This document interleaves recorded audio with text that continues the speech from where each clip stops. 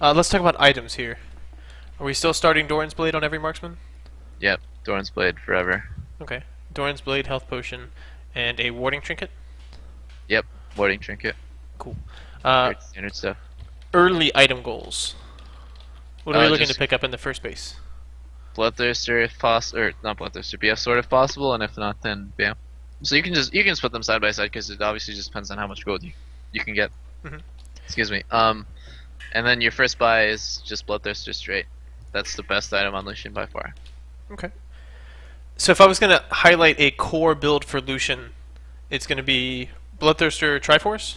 Yeah, Bloodthirster, Triforce, Last Whisper, and then either Trinity Force or Banshee's Veil next. Or not Trinity Force, Infinity Edge or Banshee's Veil. Okay. Uh, depends on the game. Most of the time, you can get away with going Infinity Edge, and then that's when you're super, super strong. Is when you have Bloodthirster, Triforce, Last Whisper, Infinity Edge, Hmm. because it's uh the perfect combo of offensive items, and Trinity Force is somewhat of a defensive item Mhm. in itself. So It's a little bit of HP, extra kiting potential. yeah, it's it's mobility and HP, and that's all the AD carries really need.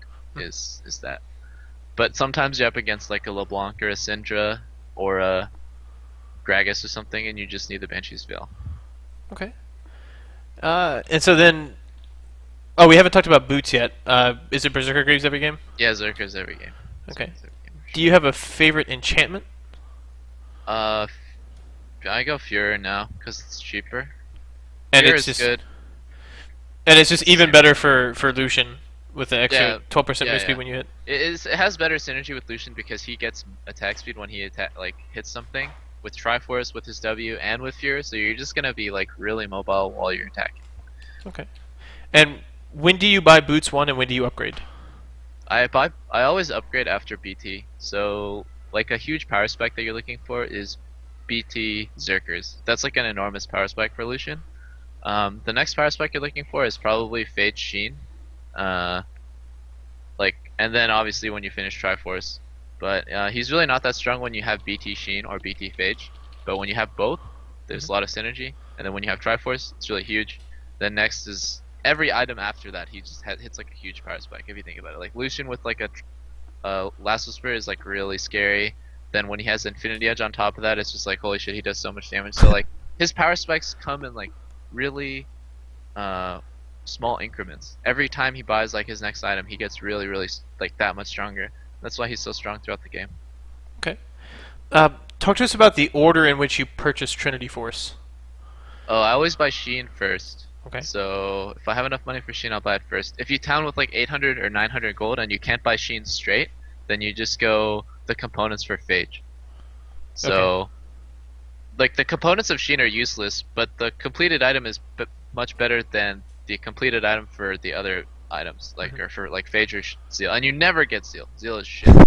so you always get Phage and Sheen. Uh, but if you lack the gold to buy one entirely, like up front, then Mhm. you just go Longsword Ruby. Yeah. Okay, great.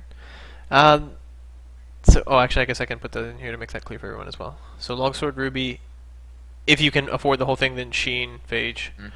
Okay, cool. Uh, so, with this item build here, we've got five items here. Talk to us about some situational pickups for our last item.